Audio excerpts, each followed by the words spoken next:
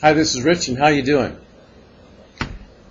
First of all, I want to say that this is an outtake. Okay? So, whatever else I say, please do not judge me. In fact, everybody fucking judges everybody all the fucking time, so judge your ass off. But judge me kindly. Or not, who cares? But the reason this is an outtake is because already this has a little bit too much incongruity. Good word, eh? Uh, and too much uh, incontinuity. Ooh, another good word. Oh, and it might even be frivolous or uh, a waste of your valuable, precious fucking time. That's why it's an outtake. So you're going, ah, what am I watching outtakes for? You know, because you want to waste your precious fucking time. Mainly, yeah. So, normally, uh, when I'm in a mood like this, I like to get warmed up before I can get focused on giving a, a really good video with a really good something. What the fuck are you talking about, Rich? Thing. So, uh, this is what this is. But I'm thinking that I might not get to the rig, the, the regular regular video. Uh, so I just decided right off the bat this is an outtake, but it might be the one that I have to upload to give you guys, my viewers, subscribers, where's Rich, what the fuck's going on, what's happening. I'd like to get warmed up and give you a really warm, fuzzy really thought out and well presented video, right? But I got to get warmed up. But I'm so slammed for fucking time, I'm not sure I can get past the uh, fucking outtake. So uh, let me throw some shit at you and uh, see what the fuck happens, okay? All right. First thing you got to know, if you haven't figured out yet, is like, I'm having a brewski.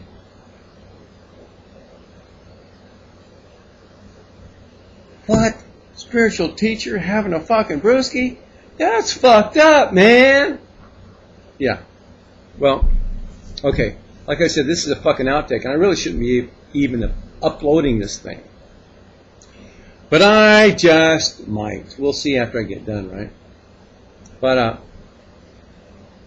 it's been stressful. It's been a stressful couple of fucking three months, man. And uh, I haven't had time to make videos because I'm dealing with life shit, right?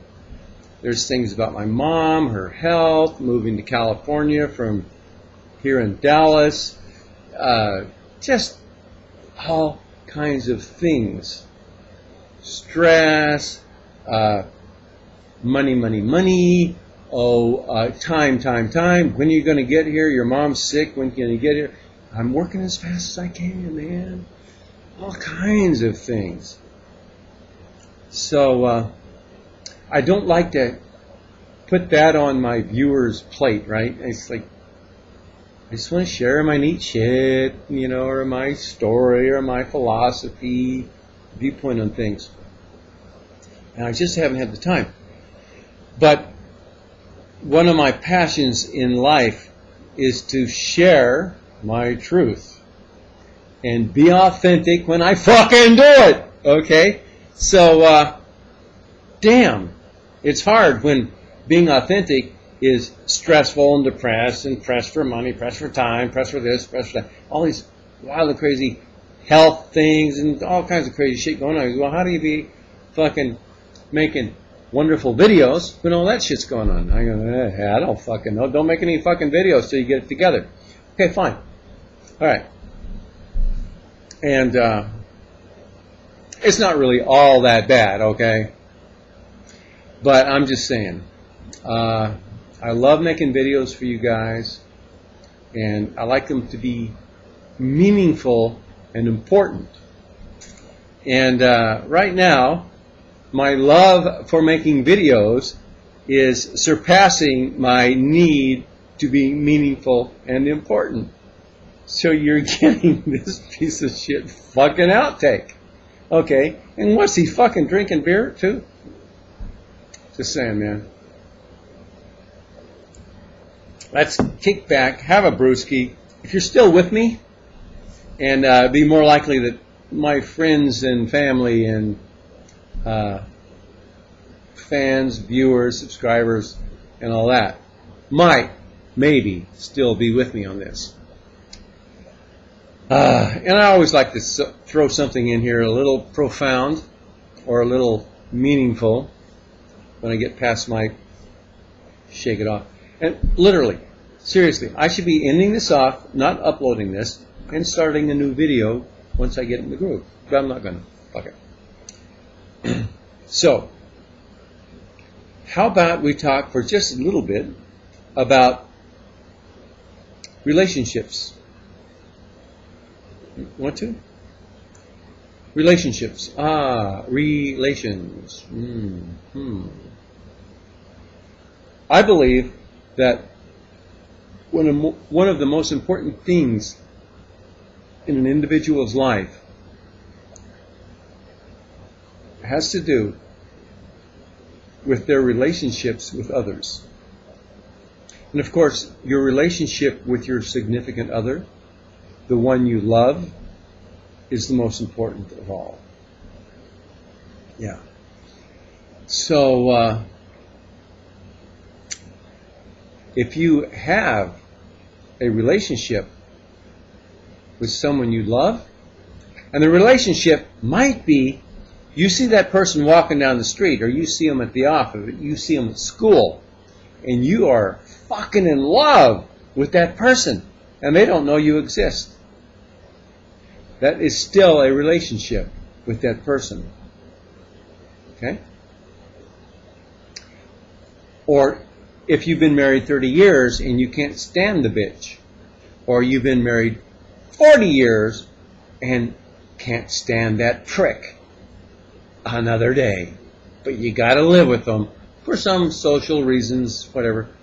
We are talking about relationships and your beliefs about them. People who live with people for years and years and feel like they shouldn't get divorced, even though every, all their friends say you should dump that fucker. what this is about is your belief systems about relationships. Okay? So there, there are things you believe, oh, you can't get. Like my mom and dad stayed married probably quite a bit longer than they should have. And never got divorced, they stayed together. Which is a good thing, right? But you got to look. You go, is that really good for the two individuals? But they stay together anyway because of social convention. And social convention is really about belief systems regarding relationships. And I'm telling you, this is my belief, my own personal understanding of it all, is that if you can look past the social conventions about relationships and embrace the relationship guilt free, that's important. I'm not saying you can do it. I'm not saying it's easy. I'm not saying uh, it's uh, socially acceptable. But, well, for example, I have some friend. I have a more than one, but someone it's close. Uh, he's a guy, and he's gay, and so his most meaningful relationship is with another man. And that has caused him no end of angst, anxiety, you know, trying to either hide his relationship or get acceptance from other people in his life, family members, for example, associates, work associates. And those two are relationships, family relationships and work uh, association relationships. While his most meaningful relationship, he has to hide. Until finally he says, ah, oh, fuck you people. This is my man, this is my boyfriend. this is my lover, this is my mate, my soulmate. And it doesn't matter if it's, you know, boy, boy, girl, girl, or whatever. I'm just saying. Relationships are important. Okay? So I just wanted to talk about a little bit and, you know, to give it a little air time and uh, a space for you to dialogue and express your feelings and thoughts about relationships here. Uh, because I personally do not believe in the um, social conventions about relationships. I don't. Mm-mm.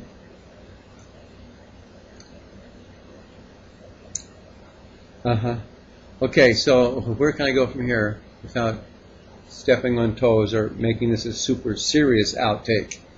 Uh, okay, let me put it this way. I'm in love. I am really, really deeply in love. I'm so in love I can't I can't imagine my life without this person in my life. She's beautiful, intelligent, smart, wonderful in every way. She understands me and she loves me with all her heart. Uh, and this is one of the most meaningful relationships I have in my life. Mm. When things go a little south, mm, a little wrong, miscommunication, or we, we can't stay connected and talk about how much we mean to each other, and we can't be with each other and do those things we want to do as much as we would like. This like fucking tears me up, man. It just like flips my whole emotional body, my whole emotional energy state changes because I cannot connect and have an intimate, close conversation and relationship with one of the people I love most deeply. And so what are you, you're probably going, oh, no shit, Rich. Yeah, we get it. Duh. Hey, like I said, outtake. Uh, so, uh, moving right along, let's talk about the Anunnaki and the reptilians. Yay! I can only say so much about uh, relationships without getting into too many details, uh, which get uh, awkward for me. Rich is drinking beer. Oh, what else is he going to fucking say about shit? Well, you can stop right now because it's probably not going to be of any real significance here. I'm just trying to swear to God, the longer this video gets, the more I'm thinking about like, mm-mm, this is a super outtake. It's not even going to be uploaded. but about reptilians in the Anunnaki. I'm a great subscriber of Robert Morning Sky. That's two words. Morning Sky, two words. If it was one word, Morning Sky, it'd be Morninski, which would be Polish. This is his joke he tells in his own lecture which I've just started watching again. And uh, what I love about Robert Morning Sky is his source is an extraterrestrial who crashed on Earth and made friends with uh, Robert Morning Sky's grandfather, I think it was. And this ET shared galactic history and how it's coming down with Robert Morning Sky and a few other Indian fellows. Now, I have a particular penchant that's uh, I have a particular penchant toward the Indian, American Indian, sharing of truth. Because I myself have Cherokee blood in me, And my ancestors go back, Cherokee, to the chief of the Cherokee Nation back in the 1600s. Chief Moytoy is a great, great, great, great, great, great, great, grandfather of mine. And I'm very proud of that. hmm And the uh, Cherokees, I understand, are uh, have their roots in the Pleiadian system. So yeah, proof? No. Digging it? Yeah. Okay, so uh, Robert Morning Sky, he's sharing the story. And the Anunnaki and the reptilians, he, he shares the history, how they came to be. Where did they fucking come from? And how does it all work? And what is their relationship with each other? And how did that get on planet Earth and why? And then what happened with the new human race? Good shit. I highly recommend Robert Morning Sky. Uh, his Terra papers, and he's got there's some videos up about this. And there's one three-hour long video of uh, his live lectures workshop about galactic history. And I'm just going to give you a quick brief, and then I'm going to wrap up my little boozer video here. Slash outtake. Okay? All right. So Robert Morning Sky, he's talking about uh, how life began in our galaxy. Made perfect sense to me. The greater beings that we are are going to create life in the physical world. And in order to create life in the physical world, we are working physical dynamics, physical laws, the laws of physics. And so we get single cell, we get chemicals, and you get them combined in such a way that spirit decides to embody that thingy, a one cell uh, amoeba or whatever. And it becomes life when spirit merges with the inanimate and causes it to move and uh, procreate. I'm not a biologist, I'm not a, any of that shit, but this is my, my take on how that works and how you would define life, animate, inanimate, organic, inorganic. Spirit moves into and animates the inanimate. And also, the way the organism is built, it can procreate or recreate itself. Ta-da! Life. Okay, so give it a million years, a billion years, doesn't matter but this little bitty cellular thing grows, evolves, blah, blah, blah.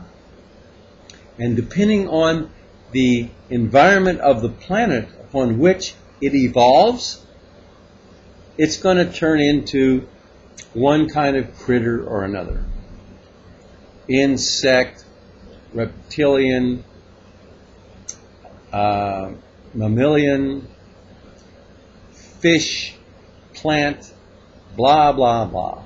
Okay, so evolution in, ensues. Okay, now on any given planet, because of various circumstances and dynamics, weather conditions, topology, all this, one or another species is going to flourish and prosper. For example, if there's very little water, but a lot of desert, some kind of a desert creature will probably flourish and prosper.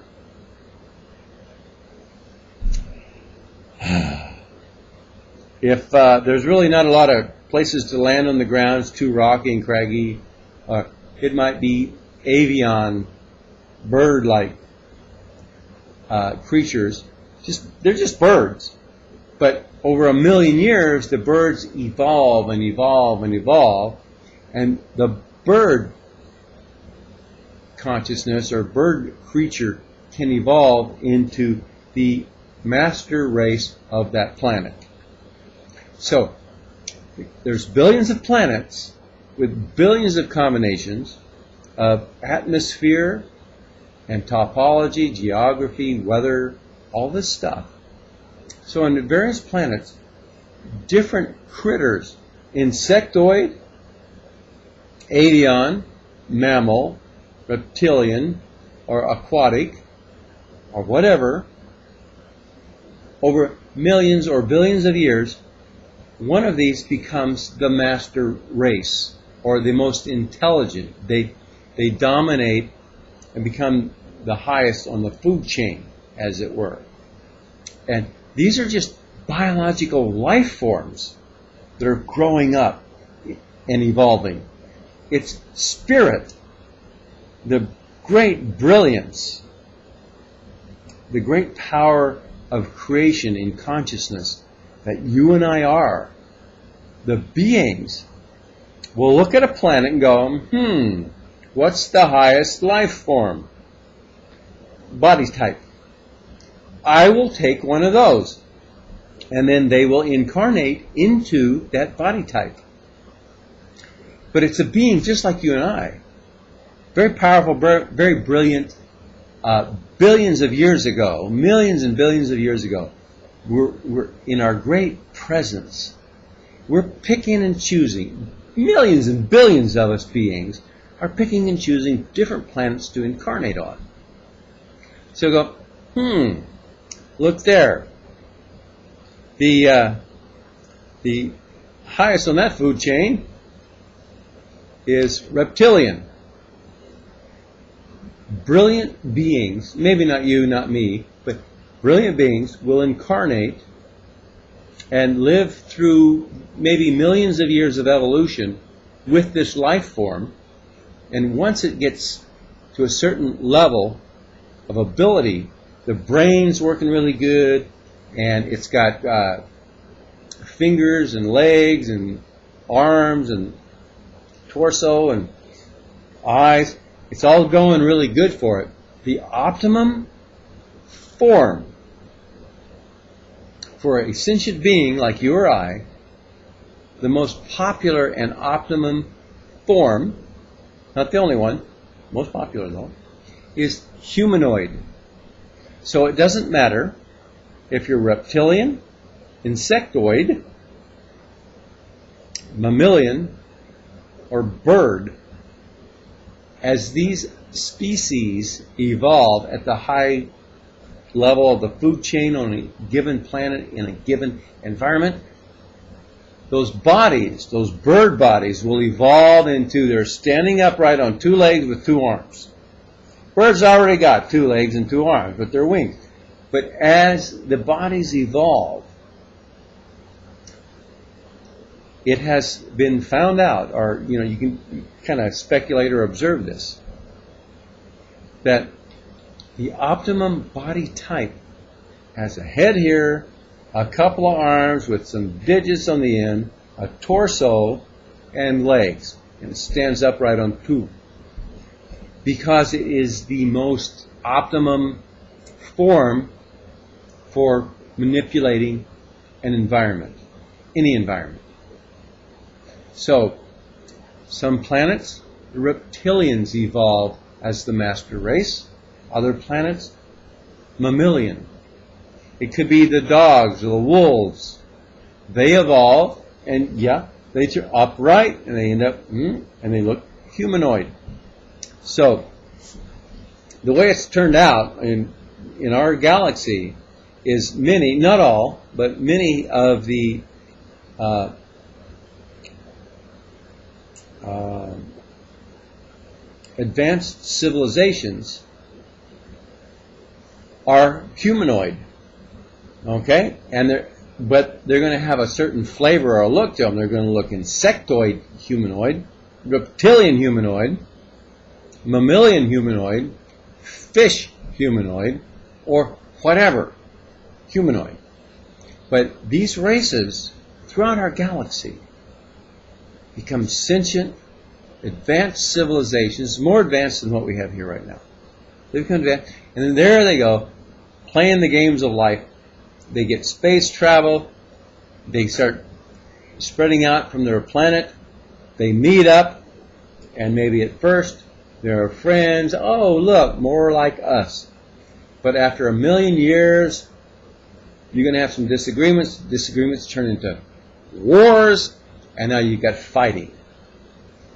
But in spirit, from a higher level, this is just a game. It's like football or rugby. It's just a game. We're playing at fighting, war.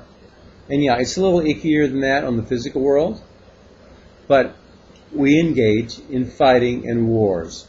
Okay, so let's say fighting and wars between humanoid planets as they evolve and start moving outward and exploring space and getting in touch with other advanced civilizations. For a while, it's fine. After a while, it gets bitchy. bitchy turns into fighting. Fighting turns into war. War, over a million years, can turn into an art fucking form. And the story is, per Robert Morning Sky, is that the reptilian humanoids were the best at this war fighting thing. And they turned it into a fucking art form. And they are awesomely able and powerful to move through the galaxy. There's billions of planets.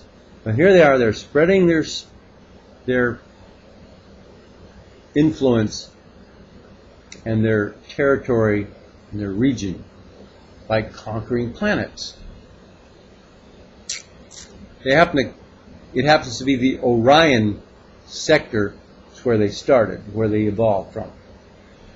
So it's all going along just fine for the reptilians. Everybody else is getting whomped and beat the shit out of and overcome by the reptilians. That's their nature. It's what they do. They fucking love this shit. Cruel, heartless. They're in it for themselves. Reptilian mindset, advanced race, da da da. Let's control and dominate the fucking galaxy. Okay?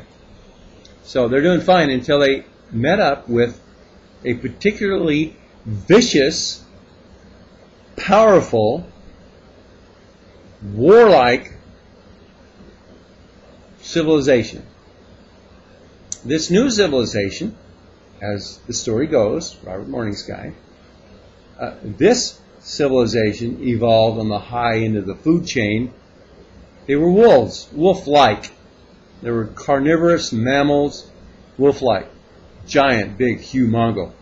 And so they're, you know, they eat everything they fucking kill, right? Give this a thousand years. No, I'll give it a million. Oh, let's give it a fucking billion. I don't know how many years. But on this particular planet, the wolf-like creature instead of the monkey-like creature. The wolf-like creature evolves, and as it its evolution continues, it begins standing on two feet, and oh, this is smart. Oh, as evolution evolves, fingers, not paws, fingers, so you can manipulate mm-hmm, the bodies evolve into humanoid form and they become advanced at in civilization and advanced space travel and in advanced in war. And so I like to think of it, they're called the Ur, Ur okay, R, the rolling R, mm, mm, but uh, because of their growl, right? Grrr, right? So anyway, these guys, are awesomely powerful, warlike, and aggressive, just like the reptilians. But these, the reptilians are way over here in our galaxy. These guys are way over here. As they both spread out over millions and billions of years, they finally met. Well, as I understand the story, the reptilians are going, hmm, reptilians have had, reptilians have had millions of years of warring, controlling and dominating, overpowering planets. They really get it. They see these motherfuckers. Well, these motherfuckers are, by the way, are the Anunnaki. Okay. These motherfuckers are contentious. The reptilians are going. The reptilian queens are going. Ugh. I don't think we want to face them head on. There's some mean bitches there. And he's all, they're ready to rock and fucking roll. That's what they do. That's their life too, just like these guys. Reptilian queens go, hmm, I know. Let's make friends with them and fuck them later. Yeah! So the reptilians are a little more devious and sleazy and effective. Even for these motherfuckers. So these motherfuckers, well, hello you motherfuckers. How about let's be fucking friends, bitch? And these stupid Anunnaki motherfuckers go, oh, okay. so it's probably not that bad. But these reptil, these, these Anunnaki kings, wolf-like, but they're kind of like more human looking, and so the reptilians by now. And so they're, yeah, yeah, okay. Uh, and they make the, the, these reptilians offer these guys such a fucking deal in the galaxy. You can have control over these systems and this, these uh, pathways, travel, uh, commerce, and and uh, you can be big ass bucket fucking kings for all these systems. Just pay homage to us and back us up, and we'll have your back. Anyway, big agreement. Chump bait Anunnaki, go, uh huh, sure, okay, we'll do this. Okay, and the sleazy, slippery reptilian queen bitches are going, so, it's all working out really good for the reptilian fucking bitch queens and their whole fucking mm-hmm, monster fucking overtake the galaxy mindset. And these guys, they're good too. Okay, so it just goes on that way for a while, and there's some infighting and fights, and it becomes a fight over Earth, blah, blah, blah. It gets complicated in, in depth, but very detailed. We talk about Anu, which is the, uh, the head or the leadership of the Anunnaki. But it also, in this story by Robert Morning Sky, it talks about in this galactic history. It talks about Anu's father and how Anu came into power and how his sons Enki and Enlil ended up on Earth doing that thing they do. It's a great fucking story, man. I highly recommend it. And uh, I'm going to go with it until I find another story that is more Believable. So anyway, here's 35 freaking minutes, 30, 33, 34 minutes of uh, me yapping on an outtake that I really shouldn't list. I shouldn't upload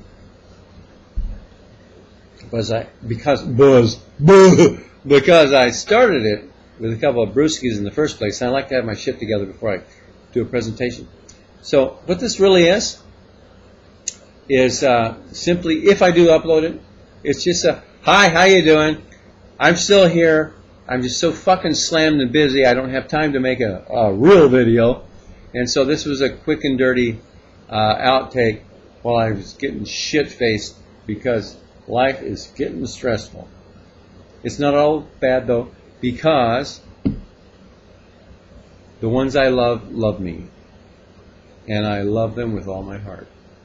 And there's one in particular that rings my bell and makes my goal, my my world go around, and my she is my reason for living. And to you, young lady, you know who you are. I dedicate this outtake. Okay? I love you, and I love all you guys and gals, but uh, especially her. And uh, so, yeah. I guess I should go now. And like, is this going to be, uh, this video going to be dissed or it's okay or uh, whatever? I don't know. We shall see, eh? Okay. Talk to you later. Keep writing, keep commenting. I do have time to read your comments and your personal messages. I just don't have time to sit down and focus and give you a good, uh, wonderful response or reply all the time. Okay? All right, you guys. Take care. And you, little girl, especially take good care of yourself because you belong to me. Okay? I love you. All right. Bye bye, everybody.